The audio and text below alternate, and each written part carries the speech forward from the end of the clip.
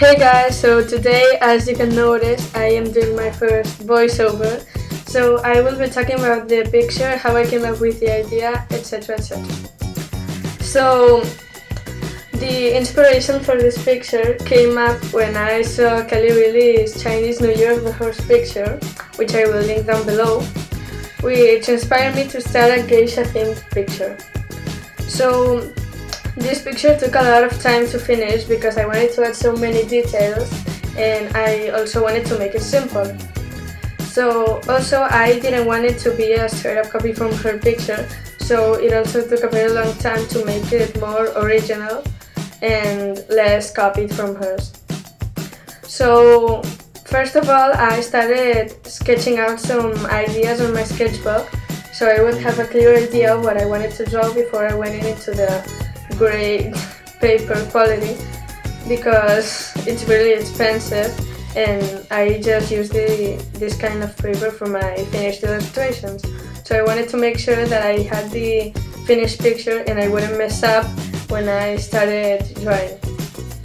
So after I finished getting my ideas ready and I started ske sketching it out on the A3 piece of paper, um, also it took a very long time because I wanted to firstly draw all the details in pencil so then I would be sure what I wanted to ink and what not when I was inking.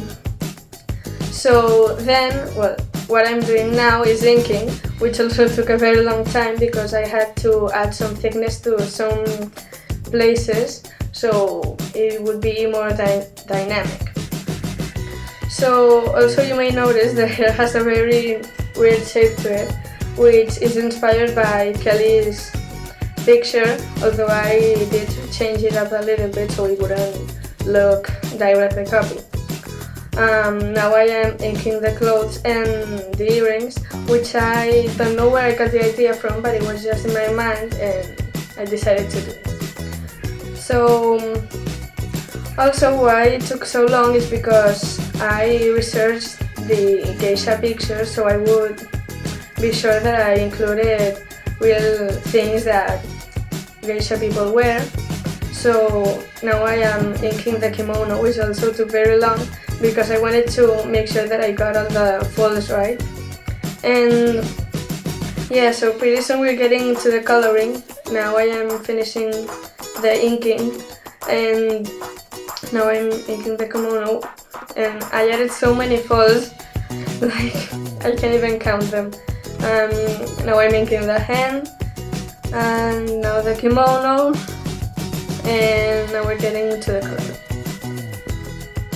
So now I'm coloring it, which also took a very long time because of the makeup, which I wanted it to look natural, although it is a weird, is a weird color, because when I researched the geisha pictures in Google, I found out that they were, they were that they were purple blush, which I really haven't seen before anywhere, but I decided to add it anyways.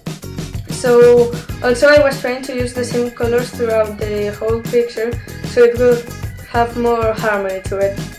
And also this is why it took so long because I had to complement the colors without making them straight up next to each other and also not making them really far apart. So now you can see the thing on her hair that I colored the same color as her eyes and I added a lot of gold also. Now I'm adding detail with my jelly roll pen and now I am getting into the hair which I layer out of, out of video. I also added some more detail so it would look more natural and not like a blob of gray hair, you know? And also because I wanted to make it dark, darker so it wouldn't look like she's a, an old lady. lady. So, also now we're getting into the clothes, yeah. So, also the kimono took very long to color because I wanted to add a lot of shadows and one of my markers, the lighter color that I was using, ran out of ink while I was finishing the kimono.